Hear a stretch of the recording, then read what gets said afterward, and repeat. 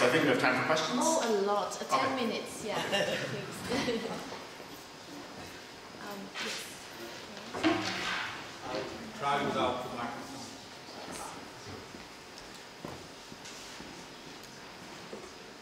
Are, are these experiments typically done with a printed questionnaire or, or, or on a computer screen where the former questions and replies are sort of gone once you turn to the next page? I'm asking because you mentioned that with repeated questions you tend to get interesting effects. It's a difference if someone can, who, who believes to recognize a question, can look back mm-hmm. at the question or not. Yeah. So uh, the earlier studies, the ones that I, uh, the earlier, the classic studies on these these types of studies have um, typically been done paper and pencil. In our replication attempts, we haven't systematically varied those, but we have done them in, in different ways, both in terms of sometimes using paper and pencil, sometimes using computer-administered questionnaires, and then also within the computer-administered questionnaires, sometimes we allow people to go back and sometimes we don't. We haven't noticed a systematic difference in this, but we haven't explicitly tested that. But yes, all the earlier ones did involve paper and pencil. Would you mind um, introducing yourself as well? Uh, hello, my name is From the University of Lausanne.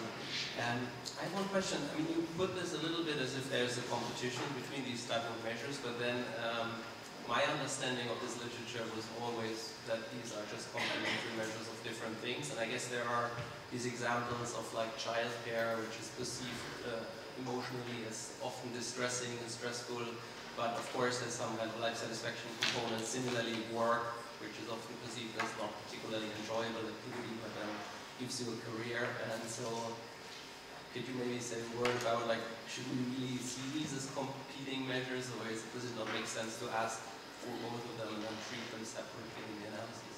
Yeah, I think that that's, that's a really good point. I did definitely present them as competing. I think that part of, I think that you're right. If you read most papers uh, that look at these types of things, look at these types of measures, they present them as complementary.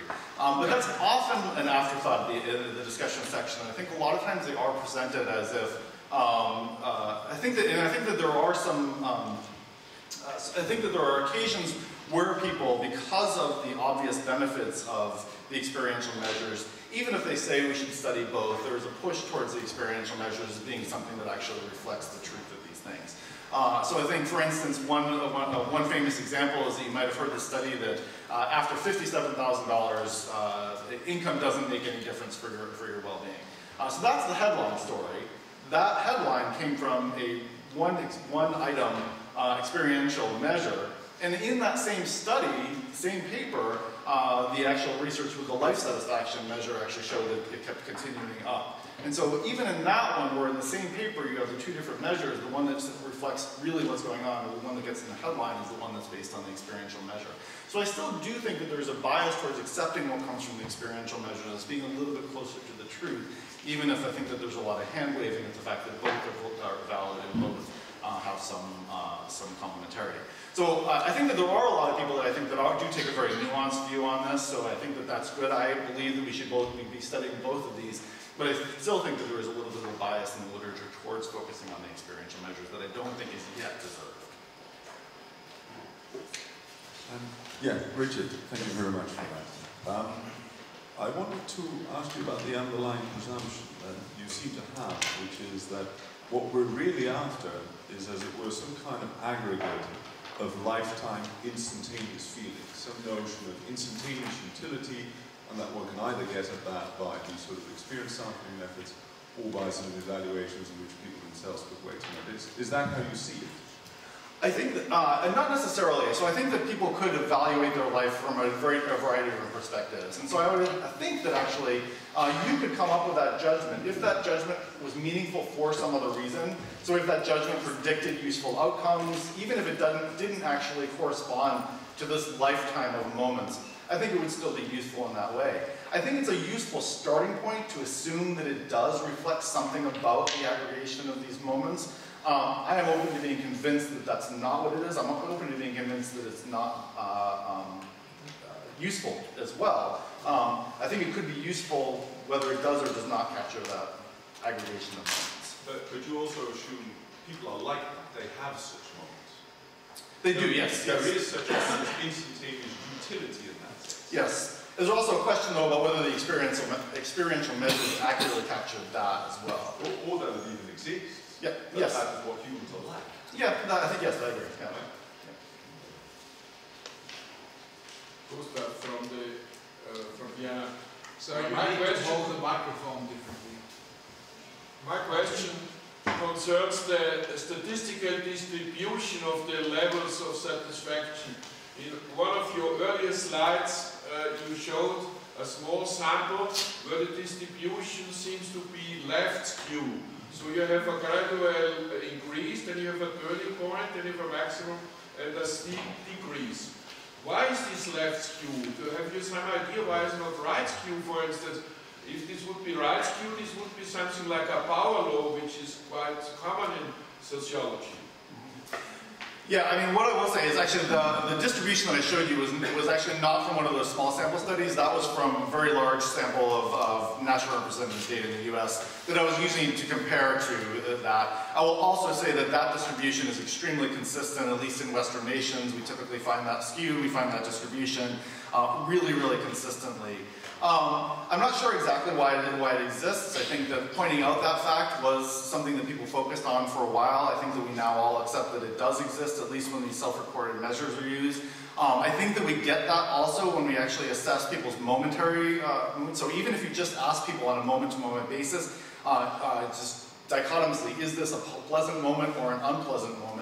Uh, you get this really strong skew where most of the time people are uh, slightly pleasant uh, in their in their moments. And so um, I'm not sure exactly why it is the case, but it is very, very robust uh, across different types of methods of assessment, across different types of uh, studies that we use. Well, thank you. Later this morning, we're going to have a, a presentation by Anastasia Liadi about the fundamental difference between happiness and life satisfaction. You seem to use them all over the place interchangeably. Don't you see a, a real difference, or if so, what is the difference? Yeah, that's a good question, and I did try to get at that at the beginning. I think that sometimes the happiness thing seems to capture what uh, a broader range of people uh, are, are uh, mean by global well-being. Uh, so sometimes I do use that interchangeably. Absolutely, in my papers, I try to be very much more precise and use life satisfaction, which I think is probably um, the closest thing that we would get to what I typically mean by global measures of subjective well-being. Um, I think that there is a question, so I think that there's definitely a precise way that we can use the word happiness that I think that does differ from life satisfaction. Um, and then there is a question, I think, about how people use happiness more broadly, and I think that that does vary across languages, uh, across different types of groups. So yes, when I, when I try to be precise, I try to focus more on life satisfaction and do acknowledge that if we are measuring something like happiness, it often comes out very different, not- very differently, but it comes out differently than uh, life satisfaction. So yes, I think that, that that's absolutely true.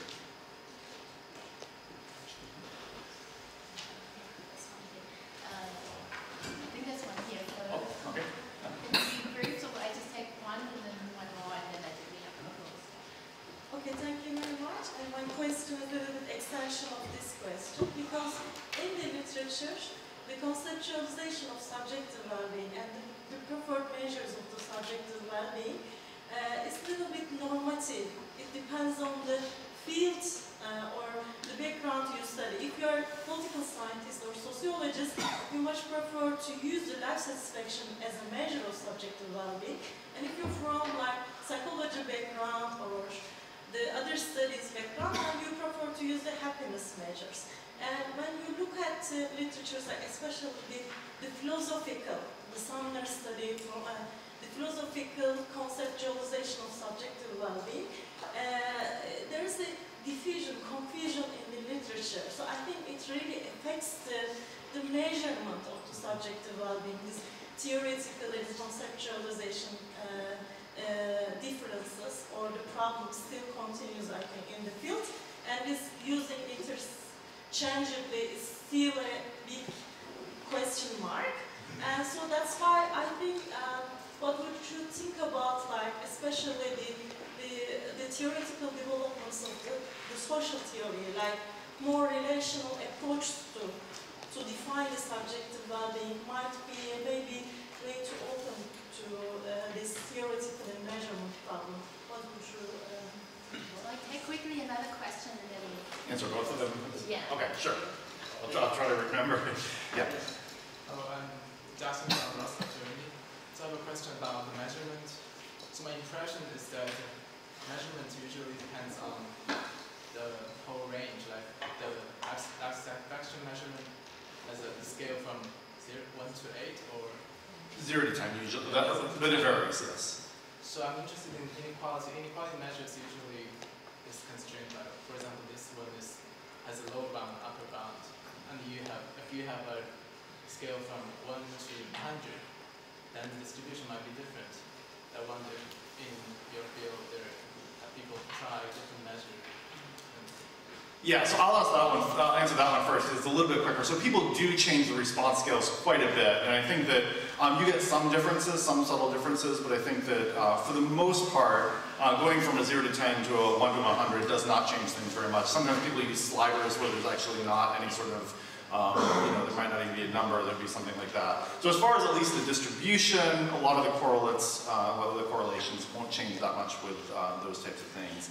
As far as the, the bigger issue about what, what measure we're actually using, absolutely, and I think that the different fields should engage with one another, so we do talk to philosophers a lot about their views on these sorts of things. Um, part of it is I think that sometimes we don't start out with a definition, a clear definition about what we think that we mean, so some people think that these are supposed to capture everything about well-being. I don't. I try to be very careful at the beginning to focus on subjective well-being and what I mean by subjective well-being. Uh, I think we can be a little bit more precise about those definitions, but absolutely we should be talking across fields about how to do that. Um, thank you All right, so thank much. you so much. So you would say